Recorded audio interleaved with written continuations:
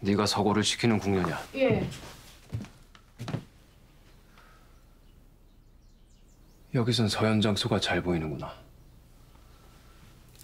소리도 잘 들리겠지.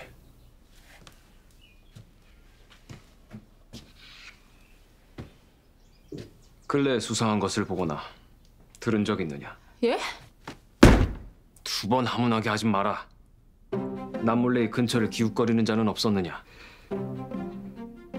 염탐하는 자가 없었단 말이냐? 대체 누가 누구를 염탐한단 말씀입니까? 그보다 대체 누구십니까? 누구시길래 갑자기 들이닥쳐서 마구 캐물으십니까? 나는 네가 할 거 없다.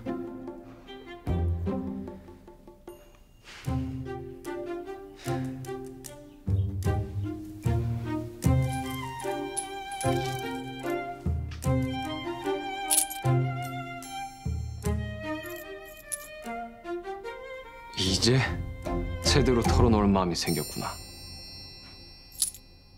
겨우 이깟 돈으로 궁녀를 매수하려 드십니까? 지금 단량이 부족하다고? 아무렴 제가 겨우 단량짜린 줄 아십니까?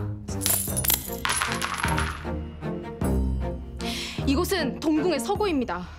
낡고 오래되어 세손저하께서 찾지 않으신다 한들 국번에 처서임은 분명하죠.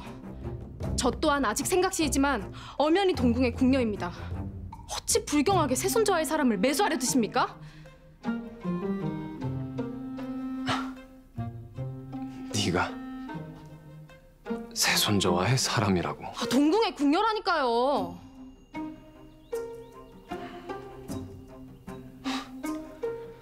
궁녀에게 무슨 신의가 있다고? 당장 나가십시오.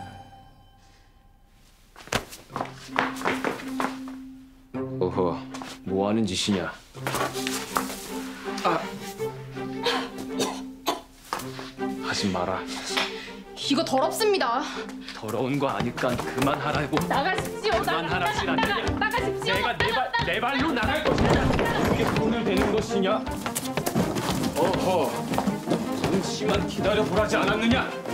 이런 무엄하다. 내가 누군 줄 아느냐? 내가 내